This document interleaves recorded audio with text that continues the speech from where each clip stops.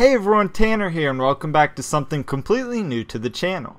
In this video I'll show you how I made a new, naturalistic setup for my brother's tricolor burrowing scorpion. This is by no means intended to be a care guide for the scorpion, just a setup video, so without any delay, let's get right into the build. To start, I got a standard 10 gallon aquarium and some egg crate light diffuser. Using wire cutters, I then cut out a section of egg crate that could fit into the aquarium. What I'm making here is an egg crate structure similar to a false bottom. Afterward I cut out two sections near the front of the aquarium. These will be used as access points for the scorpion to go underground. From there I determined how tall I wanted the structure to be.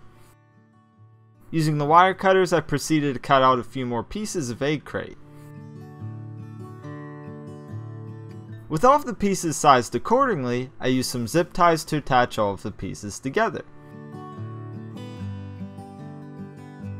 Then I got a roll of cocoa fiber liner and cut a few strips with a pair of scissors. Using some more zip ties, the cocoa fiber liner was then attached to the sides and underside of the egg crate structure.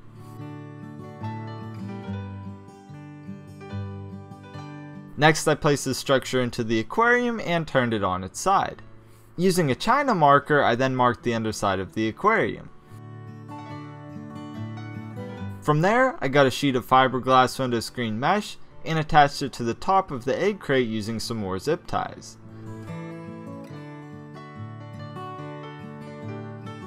After getting it properly attached, I snipped off the excess zip ties and trimmed down the mesh. With the false bottom structure now complete, I grabbed a bag of Zoo Med excavator clay and dumped it into a bucket.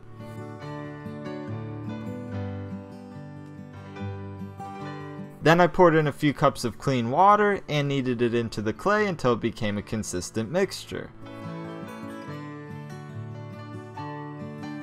Next I got a few slabs of sandstone and began setting up the tank. Using the guides on the bottom of the tank, I layered up some clay and stones. Initially, I wanted this area to be visible so that you could actually observe the scorpion and its burrows. However, as I went through the build, it just didn't work out how I planned. Had I done this build differently, I would have just skipped the egg crate portion and filled the tank completely with excavator clay.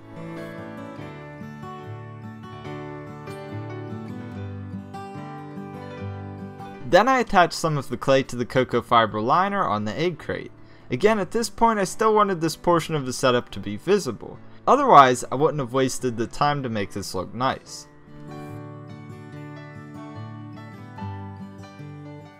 Next, I placed the false bottom into the enclosure.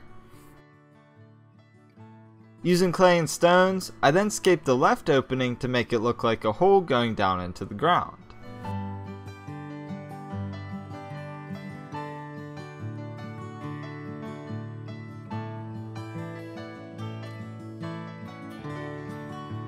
At this point, I realized that the way that I made the false bottom wasn't going to work with the side exposed. Poor planning on my part, but I decided just to fill the side in with some clay instead of redoing the whole setup. Then I repeated the same process on the right side of the setup.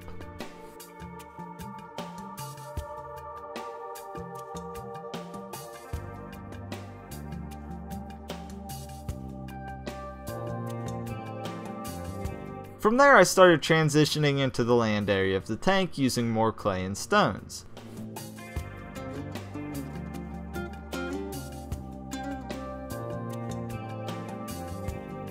Then, using a few pieces of cork bark, I got a general idea of where I wanted them placed.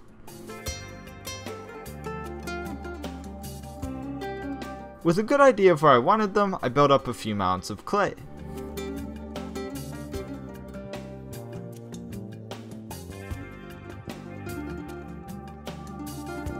Next I started putting some substrate into the setup. Here I'm using my typical ABG mix which is generally used for tropical setups, but with the absence of water, it will actually dry out pretty quickly and will be quite suitable for this setup. Plus, this is the same substrate that my brother is currently using for the Scorpion, so it's already accustomed to it.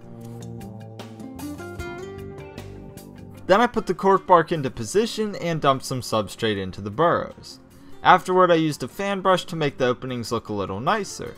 That said, the Scorpion is definitely going to rescape this to its own design, so I'm not being too particular with it.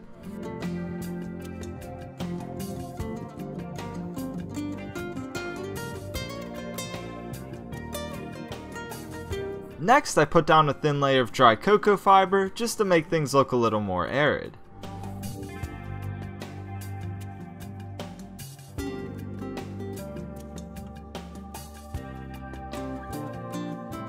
Then I added a thin layer of leaf litter and other botanicals to help make this tank look more natural and to make a home for our cleanup crew.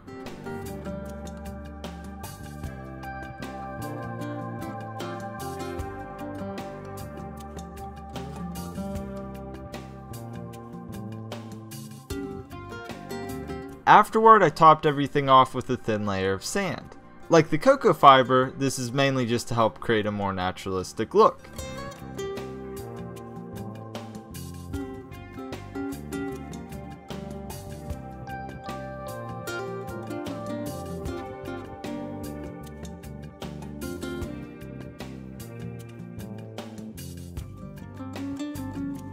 To finalize the aesthetic, I got some fake plants and added them to the setup. Originally, I didn't want to add plants at all, but I'm really glad that I did. Also, since this isn't my personal setup, I kept it simple with some fake plants.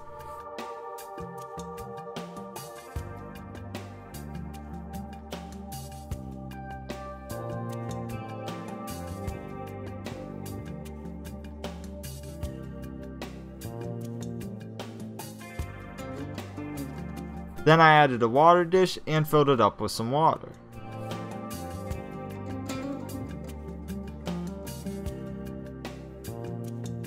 Of course we gotta add some springtails to make this setup bioactive.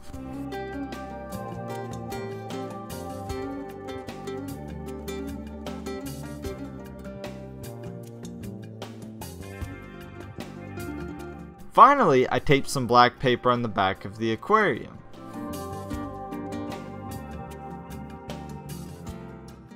Now let's add the scorpion and enjoy.